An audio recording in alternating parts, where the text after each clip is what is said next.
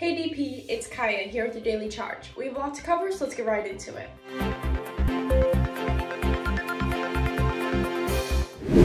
Today at 6.30 there will be an informational webinar on the launch of in-person classes.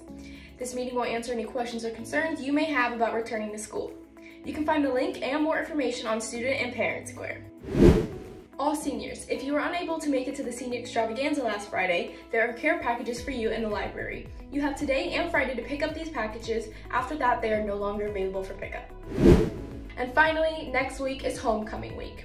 There will be spirit days, activities, and so much more. You don't want to miss out. Well, DP, that's all I have for today's Daily Charge. Have a great rest of your day, and I will see you next Thursday.